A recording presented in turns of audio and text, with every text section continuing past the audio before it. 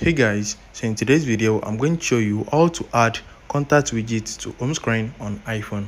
So if you want to add a widget for your contact on your iphone let me show you how to do that.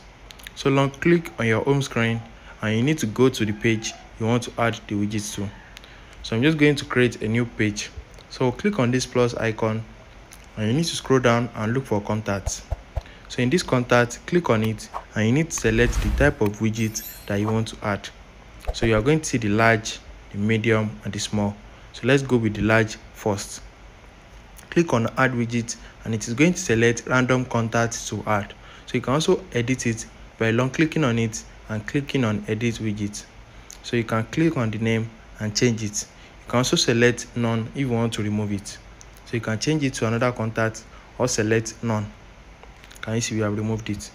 So it is now remaining five so let me show you how to add call and message button on the widget. So if you are using ios 17 on your iphone click on this plus and you need to look for contacts. Once you have seen contact add the small one. So once you add the small one now click on the small one and you're going to see edit widget. So once you click on edit widget you're going to see this show button. It is only available on ios 17 so once you enable the show button you can also change the contact if you want to. So i'm not going to change the contact.